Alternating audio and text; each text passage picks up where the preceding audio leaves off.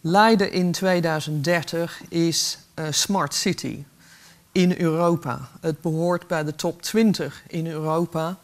De initiatieven die er nu zijn uh, rond de wereld van communicatie en cultuur zijn ook verbonden met vernieuwende virtuele initiatieven die, die tot consequentie hebben dat wij ook spraakmakend zijn in Europees verband. Andere steden kijken met jaloezie naar wat hier in deze mooie stad gebeurt. Uh, wij zijn ook een stad waar de universiteit graag gevestigd wil zijn. Nog steeds, ook in 2030, uh, is de universiteit is aan de world top, ook met de life science afdelingen, ook met ouder wordende projecten voor innovatieve uh, projecten. Juist niet alleen omdat ze veel geld uitgeven, maar ook omdat ze geworteld zijn in deze stad. Leiden is leuk. Studenten, los van de kwaliteit van het onderwijs, vinden Leiden een leuk en interessante stad om in te wonen. Nuon is gebouwd, de stegen zijn vernieuwd, er is veel te zien in de stad, er is ook veel te doen in de stad. Studenten komen hier graag. Ook zal er in de toekomst veel beelden van de stad hetzelfde zijn als nu. Dus we zullen ook over de daken kunnen uitkijken en herkennen de stad die we nu ook zien. Maar er zullen ook vernieuwingen plaatsvinden. Kleine vernieuwingen, kleinschalige dingen, maar ook grote en meeslepende projecten. Kleinschalige interventies in de binnenstad met monumentale panden.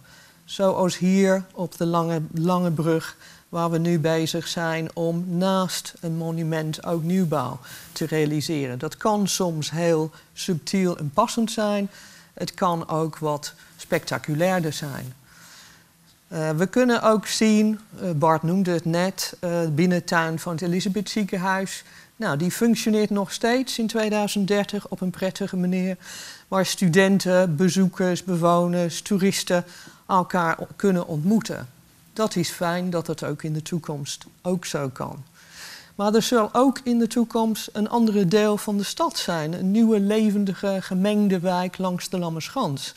Daar zullen ook studenten, jongeren, gezinnen kunnen wonen en werken in een nieuwe dynamische stad waar 2000, misschien wel meer mensen kunnen gaan wonen in de toekomst.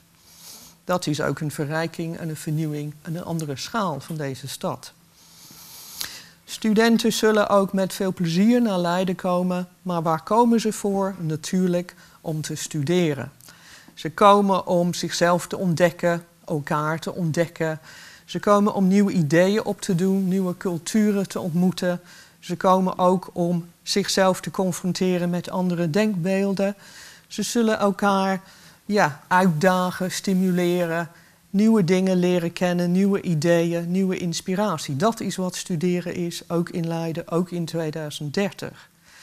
Ze zullen ook na een zware dag in de bibliotheek natuurlijk ook uitrusten. Uh, dat biertje drinken op de grachten, dat zal er natuurlijk ook wel bij zijn in 2030. Het eeuwige stadsbeeld wat we allemaal koesteren. Nou, gelukkig, ik schat in dat dat ook in 2030 zal plaatsvinden. En ze zullen heus wel een balletje gaan trappen na afloop van de studie. Of in hun eigen studentenkamer. Of, nou ja, als het even kan, ook op straat buiten. Want de studenten zullen ook in 2030, hoop ik, uh, meer in de stad te zien zijn, met de stad zijn, met de bewoners van de stad bezig zijn. Ze zullen ook helpen organiseren de buurtfeesten. Ze zullen ook een rol spelen in het geven van lessen voor kinderen in die buurt. Ze zullen het ook heel fijn vinden om met moeders en kinderen projecten te ontwikkelen die ook in de buurt, waar die studenten ook gaan wonen, ook een rol in te spelen. Ze zullen ook studiepunten kunnen winnen voor bepaalde projecten die ze doen. Ze zullen ook nieuwe ideeën vinden om ook met de bewoners van de stad initiatieven te nemen. Dus die kleinschalige projectjes die wij nu als SLS samen met de opbouwwerkers, met de hogeschool, met de universiteit aan het ontwikkelen zijn, die zullen dan in 2030 deel zijn van een heel programma wat het heel normaal maakt dat je als student ook een deel van je studie doorbrengt, meemaakt met andere mensen hier in de stad. Zoals hier, je kan dan ook denken aan het geven van uh, lessen over sollicitatiegesprekken, over zelfredzaamheid of bouwen van de website voor de buurten. Zo. Dus er zijn allerlei ideeën waardoor studenten ook een belangrijke rol kunnen spelen in de toekomst van deze stad. Er zullen ook veel meer dan nu plekken zijn in de stad, onverwachte plekken in de gangen en krochten van onze monumentale stad of in leegstaande kantoren, waar studenten hun bedrijven gaan beginnen. Ze gaan met elkaar aan tafel zitten, niet alleen thuis, maar ze gaan met elkaar, maar ook met ervaren ondernemers die er natuurlijk ook in deze stad zijn, om projecten en plannen te bedenken om nieuwe producten te ontwikkelen waar zij, maar ook deze stad plezier aan beleven. Dus zij zullen ook in de toekomst verder daarmee gaan en ook op die manier een toevoeging bieden voor de stad. Cultuur, uiteraard. Studenten zijn al nu heel actief bezig. Studenten, studentenkamer, feest, eh, museumnacht, nou, die zijn al lang een rijke tradities tegen die tijd. Maar ook de jaarlijkse diners op het Rapenburg, waar de hele stad voor uitgenodigd wordt, zijn dan ook een lange traditie waar ook iedereen graag naartoe wil, omdat dat ook heel erg leuk is om met studenten aan tafel te gaan zitten. Dus ook de stad ziet er dan heel mooi uit. Alle steegjes zijn mooi opgeknapt, zoals jullie zien. En de stad viert feest, natuurlijk ook in 2030.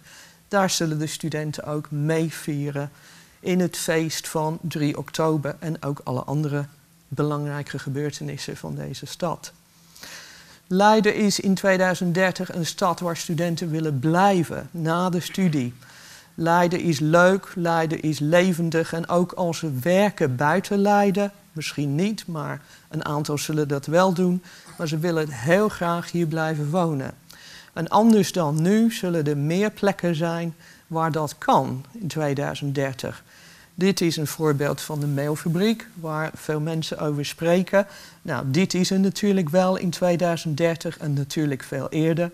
Dus dit is een klein stukje van hoe dat gaat worden. Maar er zijn ook veel andere plekken waar studenten kunnen wonen, zoals hier op het Sandersterrein. Daar zijn natuurlijk ook hele mooie appartementen in aanbouw, waar studenten kunnen kopen of huren als ze klaar zijn met hun studie. Nou, dat vinden ze ook heel fijn om daar te zijn. Dit is ook een mooie locatie aan het water. We kunnen ook veel meer dingen doen met het water op een zorgvuldige manier. Hier kunnen ook hele mooie woningen voor jongeren, maar ook voor anderen gebouwd worden in de toekomst. Beeld van Elan. Verder hier bij het station. Connection is natuurlijk al lang weg. Hier zijn ook hele mooie plekken aantrekkelijke stedelijke locaties met een fantastische treinverbinding. Her en der maakt niet uit, want je komt toch elke, elke avond weer terug naar Leiden om te genieten van wat deze stad te bieden heeft. En last but not least, mooie appartementen voor starters in de Smaragdlaan. Dus dat is ook een hele mooie plek om straks te wonen.